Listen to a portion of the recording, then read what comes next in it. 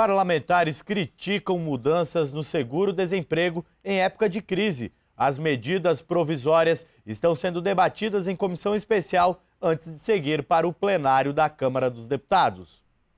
Antes mesmo de chegar ao plenário da Câmara, o governo vem recebendo críticas por promover mudanças nas regras do seguro-desemprego previstas nas medidas provisórias 664 e 665 em um momento de crise com previsão de baixo crescimento econômico, aumento do desemprego e queda da renda do trabalhador.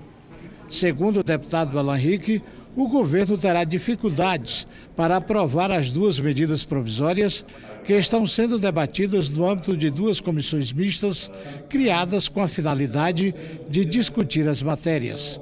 Para ele, as MPs tiram direitos dos trabalhadores. O mesmo Partido dos Trabalhadores, que foi contra a regulamentação da terceirização, apoia políticas que dificultam o acesso do trabalhador ao seguro-desemprego. Que incoerência!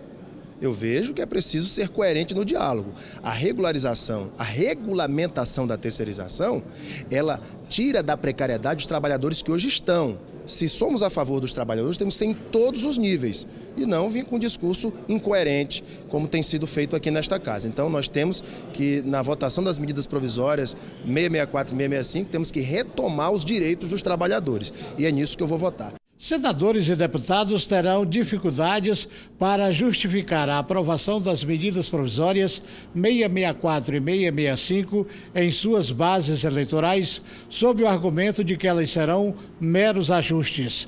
Para a maioria dos parlamentares das comissões mistas, o governo precisa encontrar alternativas sem prejudicar os trabalhadores.